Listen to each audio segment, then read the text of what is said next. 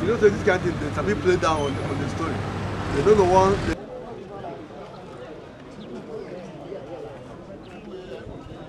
You are here to get information from us about what has just happened.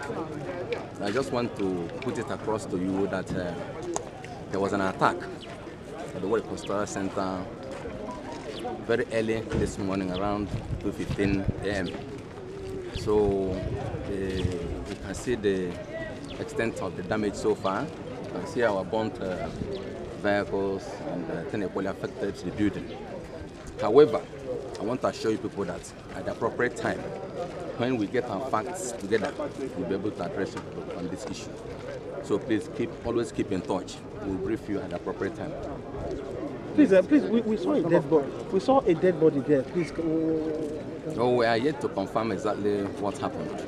But uh, like I said, at the appropriate time, we must have gotten all the information ready.